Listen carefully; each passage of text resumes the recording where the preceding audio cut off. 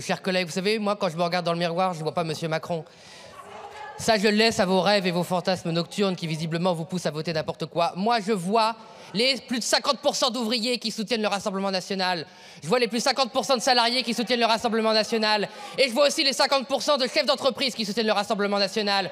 Vous n'avez eu de cesse de diviser le peuple français en faveur des oligarques. Vous avez mis sur un plateau les dispositions fiscales qui ont créé les Gilets jaunes. C'est votre vote en 2017 qui a permis la suppression de l'ISF, la création de la flat tax, tous les cadeaux qui ont, mis les Gilets jaunes sur les routes de France. C'est votre faute. Vous avez trahi le peuple français et personne ne pourra effacer vos trahisons à part l'arrivée au pouvoir du Rassemblement national.